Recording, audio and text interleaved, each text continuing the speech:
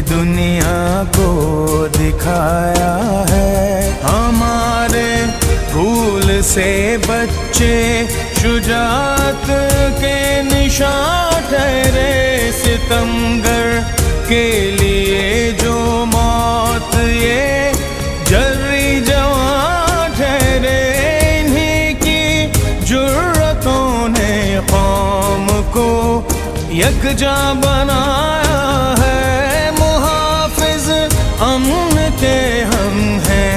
ये दुनिया को